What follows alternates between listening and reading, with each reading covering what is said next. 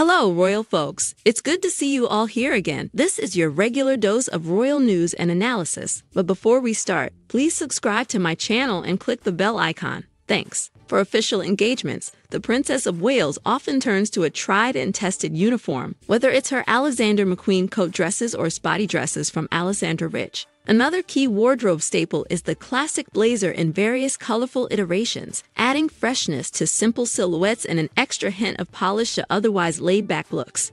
Dating back to her early appearances on the public stage, Catherine has had a technicolor range of blazers on heavy rotation, ranging from Cella Dara boucle designs to LK Bennett sunny shades, and more recently, a vintage Chanel jacket dating back to 1995 often paired with jeans or tailored trousers. Blazers are a modern take on royal tailoring, and despite their generational differences, parallel style nuances can be spotted between the late Queen Elizabeth II and the Princess of Wales. From neat tailored silhouettes to matching block color palettes, always a solid pillar, Kate and the late monarch find themselves sartorially matching, even down to exaggerated double breasted buttons and detailed collars and cuffs. Where the queen chose looser fits with longer hemlines, Kate's jackets flare over her hips and nip in at the waist, although the unifying feature for both are neat lapels. The queen's faultless style was underpinned by staples that became constants throughout her seven decades on the throne. Made to measure coats by Hardy Amies, Stewart Parvin, and her royal dresser Angela Kelly, together with Launer handbags, Premonello, and Davide pumps,